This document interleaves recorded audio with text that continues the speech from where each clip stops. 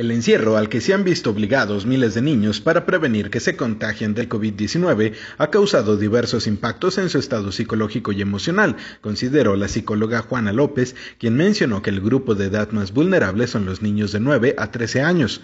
La llegada de las celebraciones decembrinas y las actividades tradicionales, tanto locales como al interior de cada familia, pueden provocar emociones y sentimientos negativos en los niños acostumbrados a la interacción social de dichas acciones como reuniones familiares masivas con miembros que vienen de otras ciudades y que por la pandemia ya no se podrán realizar de la misma manera.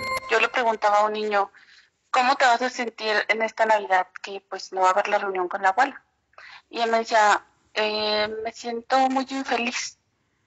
Entonces, eh, ¿qué conductas se pueden manifestar? Bueno, pues sentimientos, primero sentimientos, emociones de tristeza, eh, de decepción, de aburrimiento, de miedo, de desamparo, de no sentirse cobijado, ¿no? Por toda esta situación que le hace sentir feliz.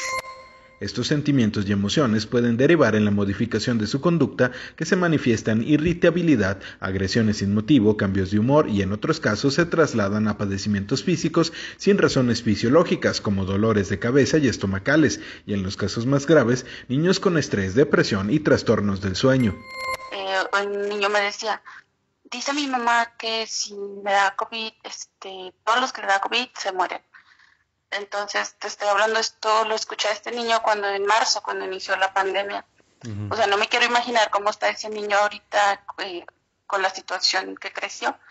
Entonces, sí tenemos que ser muy claros y brindarles información coherente, información también de acuerdo a la edad que tenga el niño y sobre todo dárselos de una manera muy clara.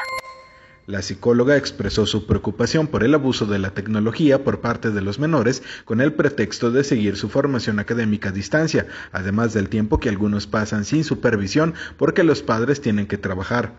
También señaló que es importante que los maestros dediquen tiempo a sus alumnos para evaluar su estado emocional, ya que esto repercute en su rendimiento escolar.